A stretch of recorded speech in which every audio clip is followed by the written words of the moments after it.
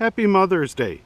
Be grateful you're not a queen honeybee that gives birth daily for seven to ten years.